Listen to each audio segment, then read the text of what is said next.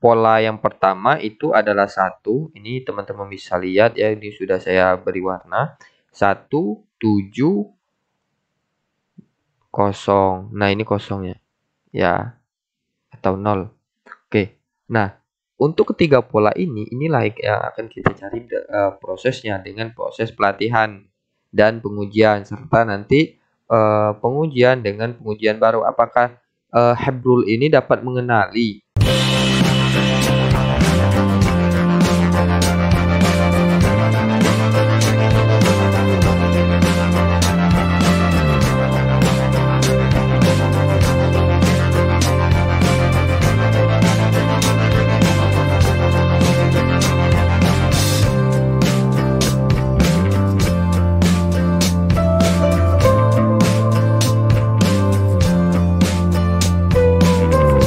Assalamualaikum warahmatullahi wabarakatuh.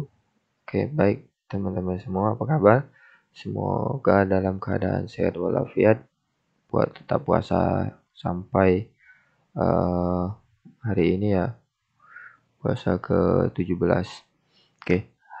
Uh, kembali lagi di channel saya Junianto Putra Fajar.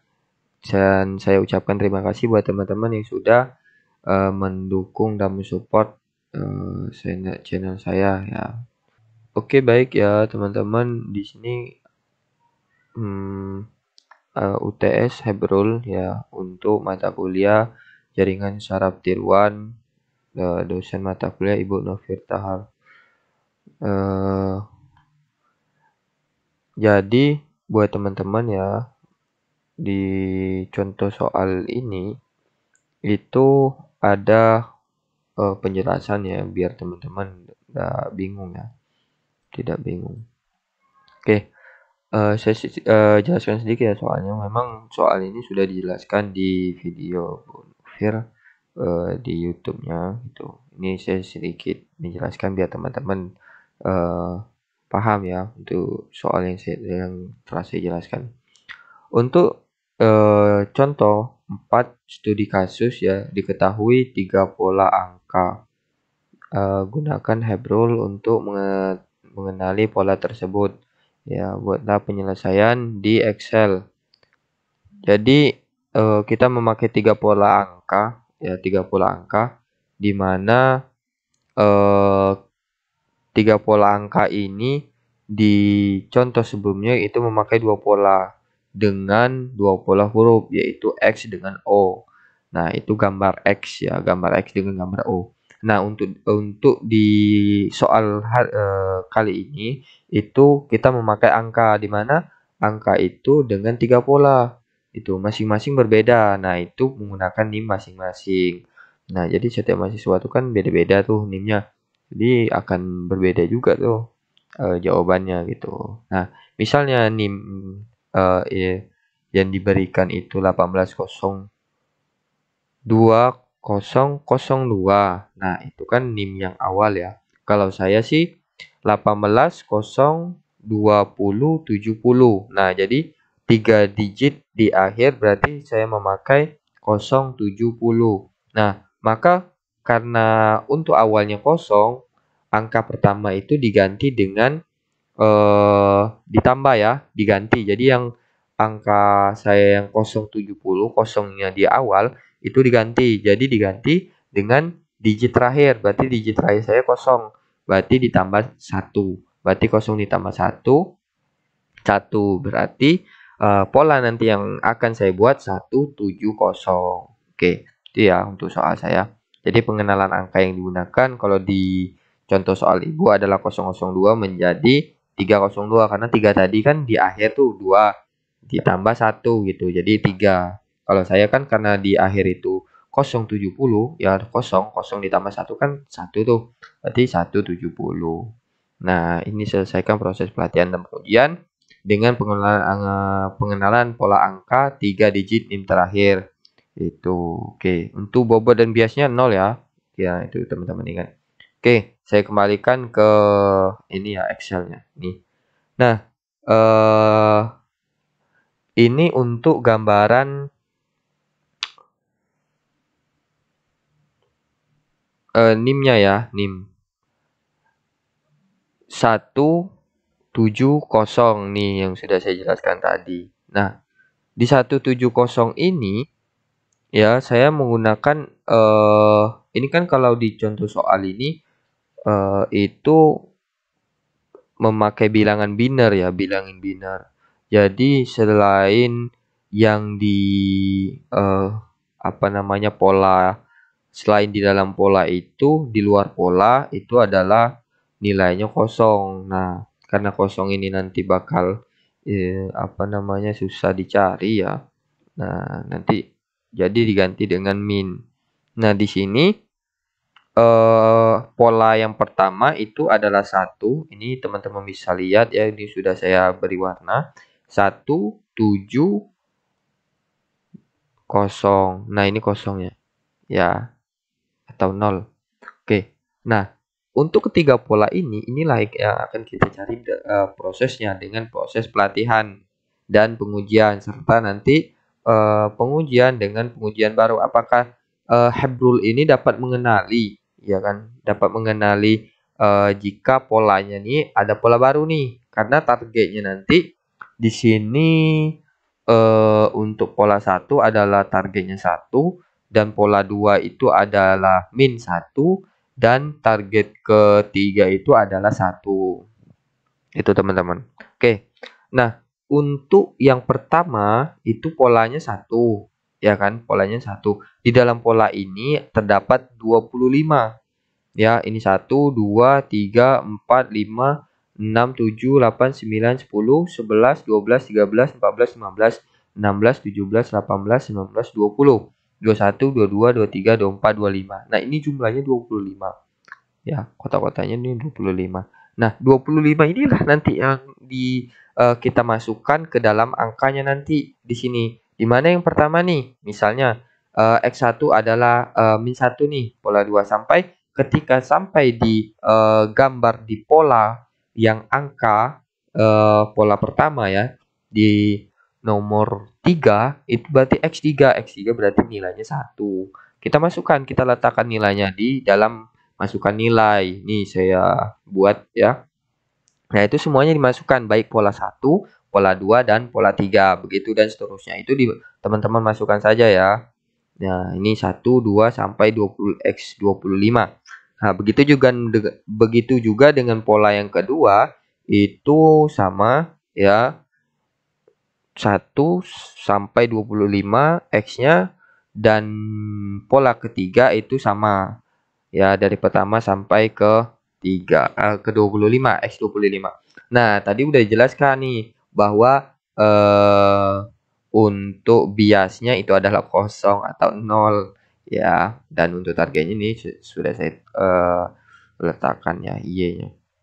Oke, selanjutnya kita melakukan pengujian nih, ya kan? melakukan pengujian. Nah, pengujiannya bagaimana? Nah, pengujiannya di sini kita memakai rumus B17 ya, di mana nanti untuk e, masukkan pola pertama itu dikalikan dengan e, target. Ya, teman-teman, dikalikan dengan target. Nah, ini teman-teman bisa lihat nih. Jadi, e, kita ini mencari masih mencari perubahan bobot biasnya ya. Kita coba pengujiannya yang pertama. E, pelatihannya dulu.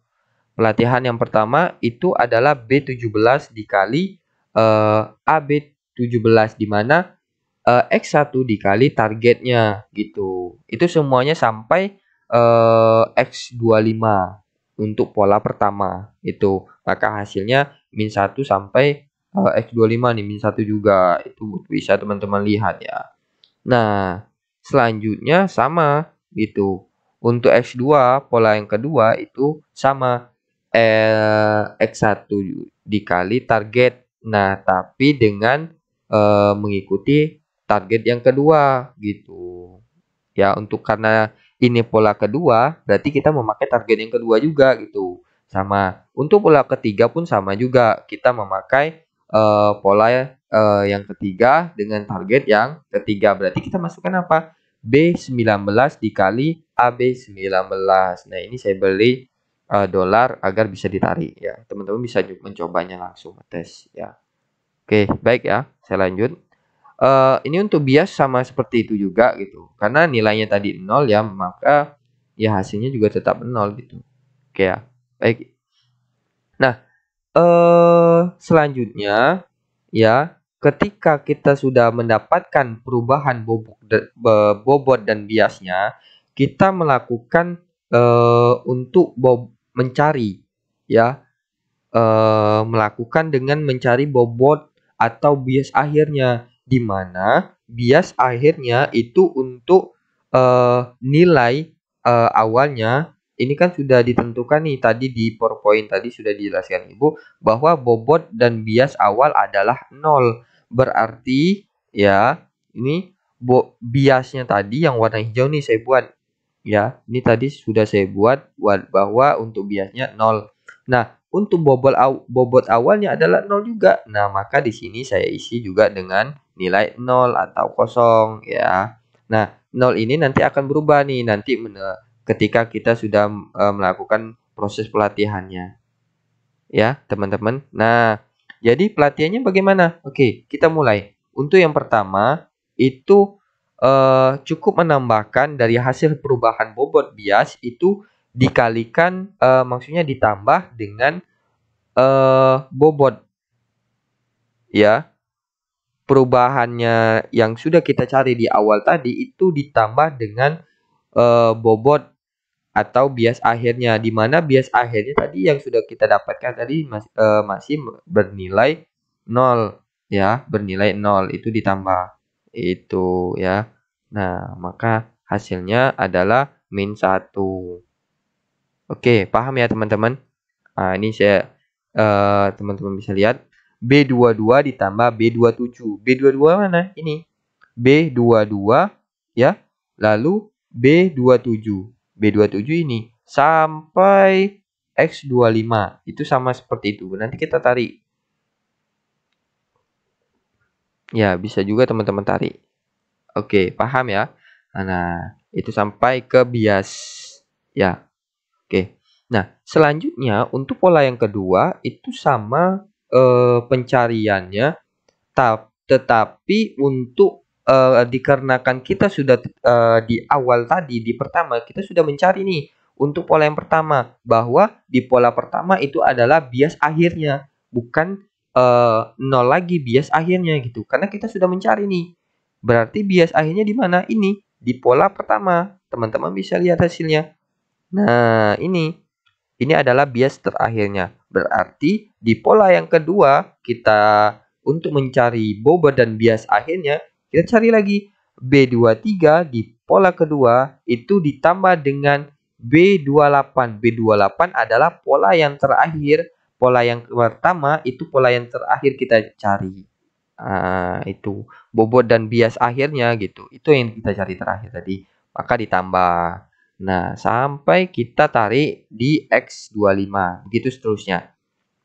Oke, setelah kita mencari pola kedua, maka pola kedua inilah yang akan menjadi bobot atau bias akhirnya. Bukan lagi di pola pertama. Seperti itu. Ya, Nah, begitu juga kita mencari yang pola ketiga. Pola ketiga itu berarti B24 di pola ketiga ditambah uh, B29. B29 adalah pola kedua. Itu adalah bobot atau bias akhirnya di pola kedua. Maka hasilnya adalah min 3, min 1, 1, min 1, terus sampai X25 adalah min 1. Dan biasnya adalah 0. Nah, ini sudah saya beri tanda merah bahwasanya di pola ketiga ini sudah saya beri tanda merah Inilah uh, bobot atau bias akhirnya di dalam proses pelatihannya. Seperti itu. Oke, sampai sini teman-teman paham ya.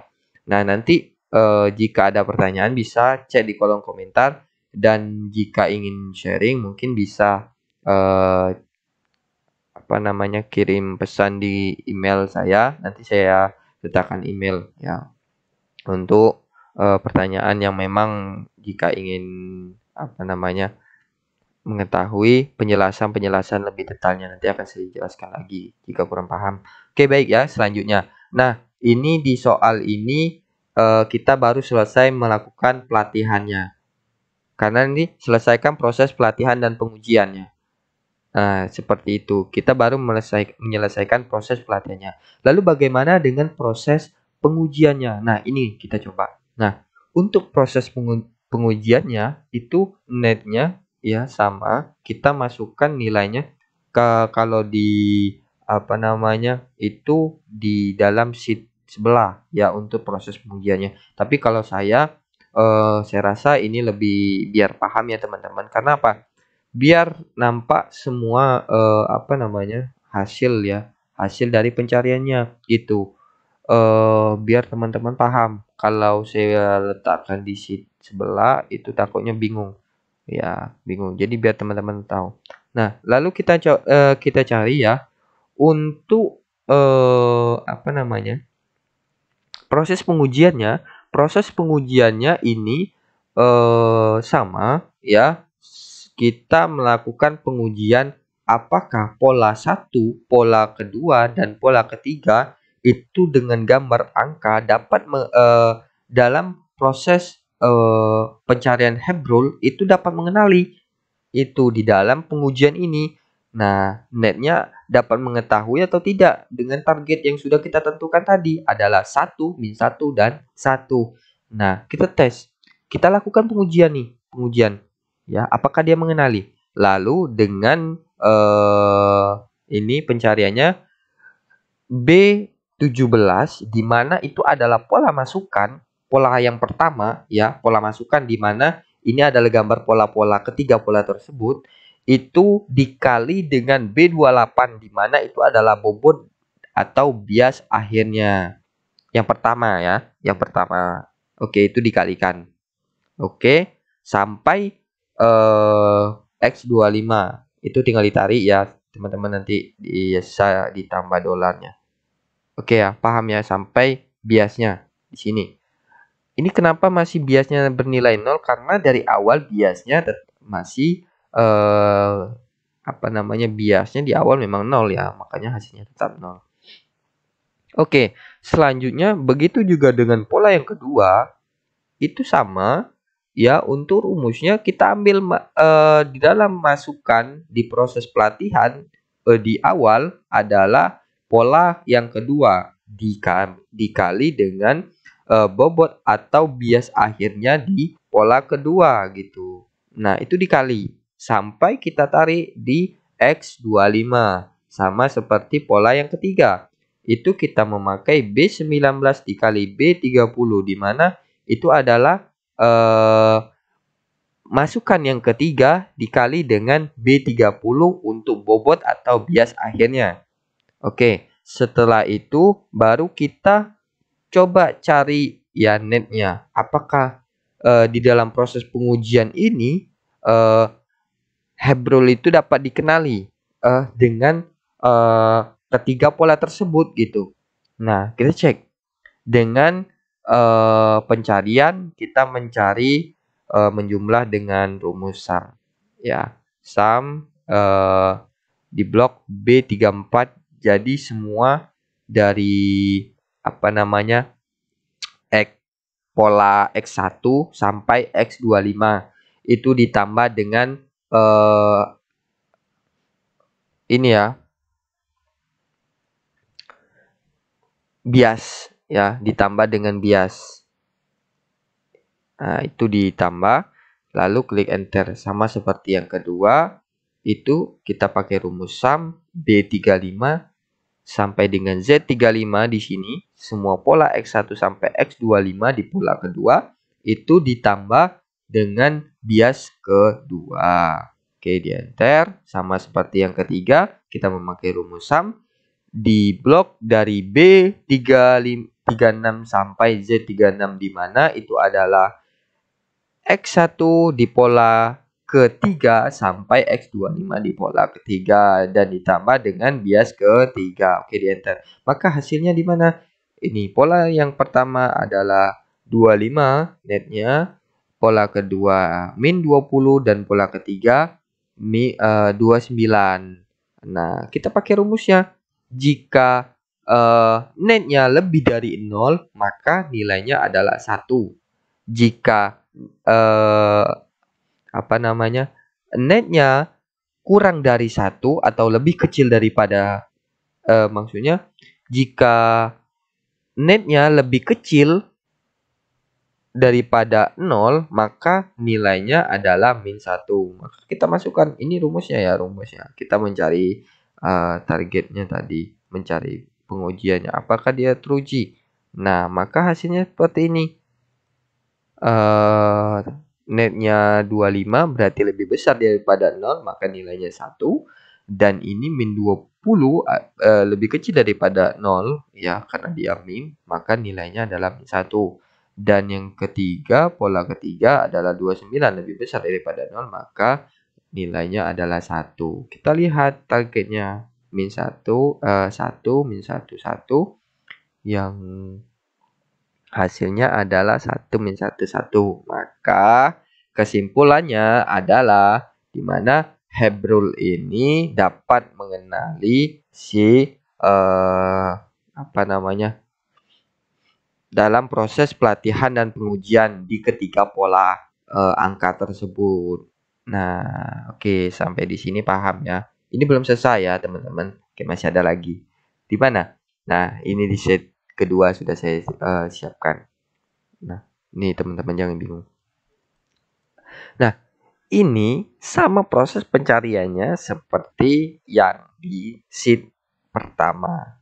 Nah, ini di sheet kedua adalah uh, apakah uh, Hebrul ini ya dapat mengenali ketika ya di dalam soal ini ya ketika uh, apa namanya uh, proses pengujian itu kita menggunakan data baru atau bebas dan mendekati pola data lama.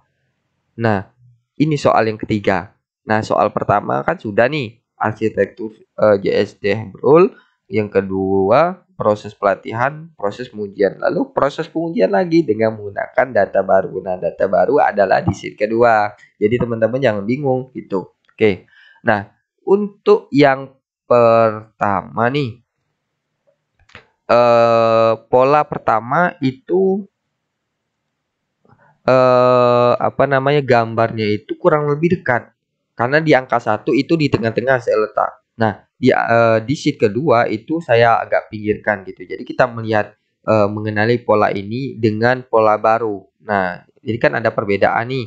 Cuman agak nampaknya bergeser ya polanya ya. Tapi angkanya tetap sama, dia mendekati gitu. Angkanya angka satu. Nah, nah dengan uh, apa namanya data baru ya 170 Ya, teman-teman bisa lihat ya angka, eh, dari perbedaan pola ketiga pola tersebut. Ya, beda ya, nampak. Oke. Nah, eh ini sama untuk pelatihannya pertama kita coba mencari kita masukkan nilai dari X1 sampai X2. Nah, untuk pola apa? Udah sana om lagi kuliah.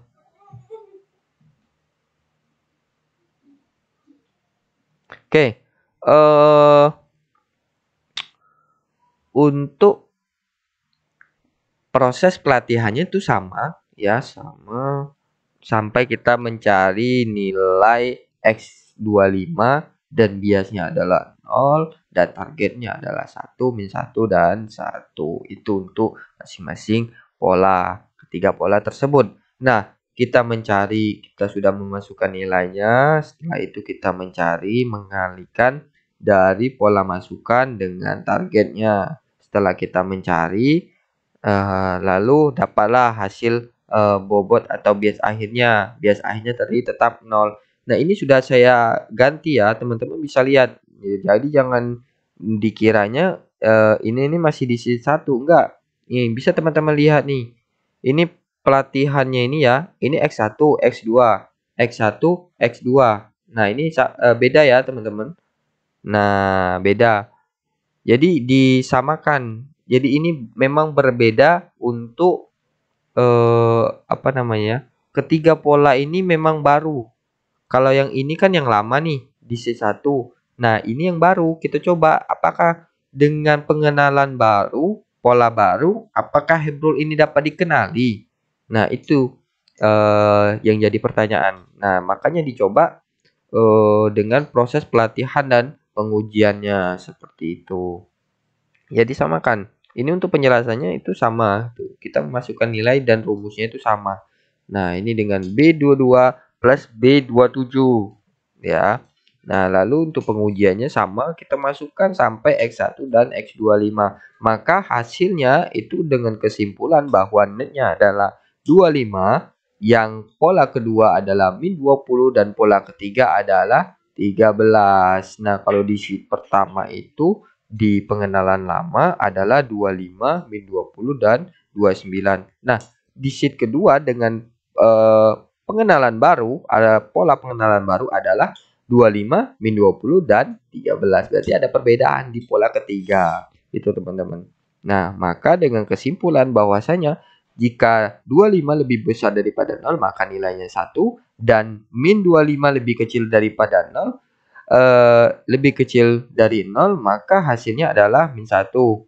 Nah, lalu yang ketiga adalah eh, 13. 13 lebih besar daripada 0, maka eh, nilainya adalah 1 dan kita lihat dengan target adalah pola yang pertama satu, pola yang kedua min satu, pola yang ketiga satu, sama uh, seperti hasilnya seperti ini. Dan dengan kesimpulannya adalah uh, dengan pola pengenalan baru Hebrul dapat dikenali.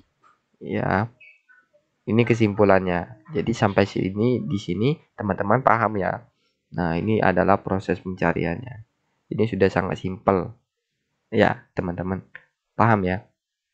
Oke, sekian video penjelasan dari saya. Mohon maaf jika ada yang uh, apa namanya tadi ada iklan tadi dikit ya. Uh, Oke, saya akhiri uh, dengan kesimpulannya bahwasanya UTS pada hari ini uh, untuk penjelasannya hmm, sampai di sini ya, sampai di sini. Ya saya uh, saya akhiri. Wassalamualaikum warahmatullahi wabarakatuh. See you